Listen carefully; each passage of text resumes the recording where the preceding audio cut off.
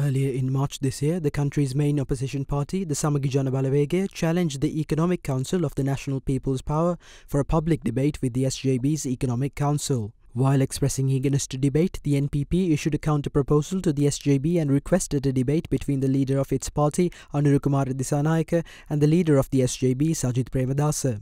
The challenge made by the NPP for a public debate between the leaders of the two parties was later accepted by the SJB. Subsequently, executive member of the NPP, former MP Dr. Nalinda Jayatissa dispatched a letter to the General Secretary of the SJB, Ranjith Madduma Bandara, suggesting several dates for the debate. The dates suggested by the NPP were the 7th, 9th, 13th and 14th of May. Meanwhile, through the same letter, the NPP outlined that the lack of an official response by the SJB on the debate could lead to a wrong impression regarding the debate. The NPP further stated that the duration, venue, and broadcasting rights of the debate could be discussed after finalizing the date for the debate. However, the NPP also underscored that if the SJB does not concur with the proposed debate dates, they are obliged to promptly communicate their unavailability to the NPP. After considering the proposals contained in the letter, the SJB voiced their opinions on the matter today.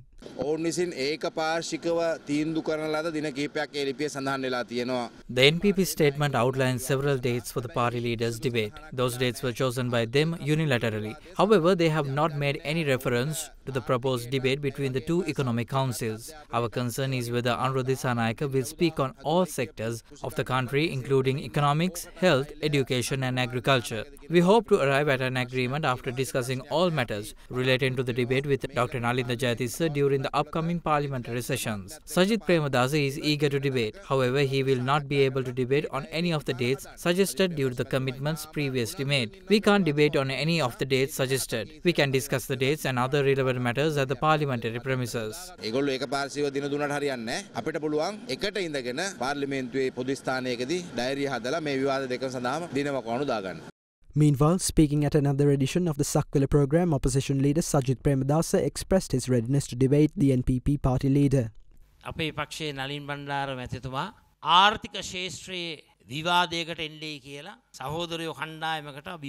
SJBMP Nalin Bandara challenged the Economic Council of the NPP for a public debate with the Economic Council of our party. However, now they have dodged the proposed debate between the Economic Councils and have proposed a debate between the party leaders. They have also sent in possible dates for the debate. We are ready to hold both debates in May. We have no problem in having both of these debates within the next month. However, I urge them not to cover away and evade the debates. Accept both these challenges. නිවටයෝ වෙන්න එපා. කොන්දක් නැති පුද්ගලයෝ බවට පත්වෙන්න එපා. අභියෝග දෙකම බාරගන්න.